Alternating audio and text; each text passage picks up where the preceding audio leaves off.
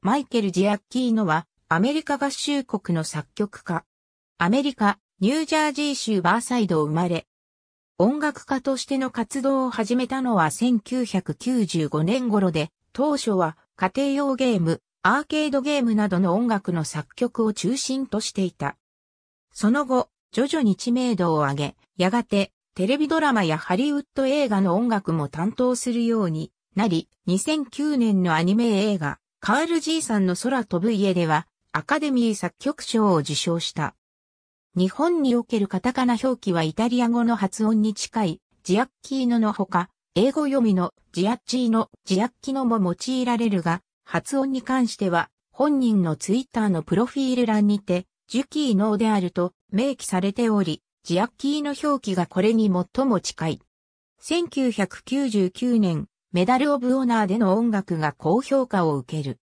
2001年に J.J. エイブラムスのテレビドラマ、エイリアスの音楽を担当したのがきっかけで、エイブラムス制作によるテレビ番組の音楽を続けて担当。2004年、ミスター・インクレディブルで劇場作品の音楽を初担当。続けて、同じバード監督のレミーの美味しいレストランでも起用され、さらには、カール G さんの空飛ぶ家と、ピクサー作品の音楽を次々と担当。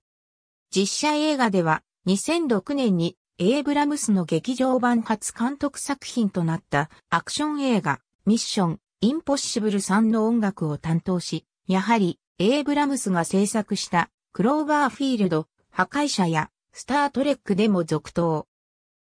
その合間に、スピードレーサーといった話題作の音楽も担当している。2008年度のアカデミー賞受賞式では音楽監督を務めた。